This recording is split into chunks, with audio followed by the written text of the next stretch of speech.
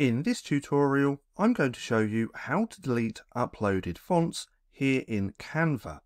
Now, when it comes to deleting fonts, there's only one way that you can do this, but there's two ways that you can upload fonts. So if we click on this font just here, come over to the font section, you can upload your fonts here directly on the project page, but you can't delete them.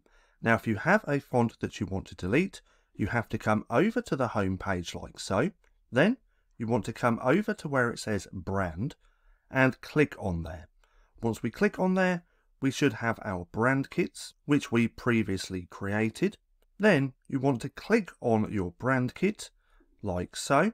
Scroll all the way down to where it says fonts. Click on add new. Click on upload a font and now we have all the fonts which we have uploaded. Now to delete one of these, let's just scroll all the way down to the bottom. To delete one of these, all we want to do is click on the delete icon just here. And once we click on there, we're going to get presented with this message just here.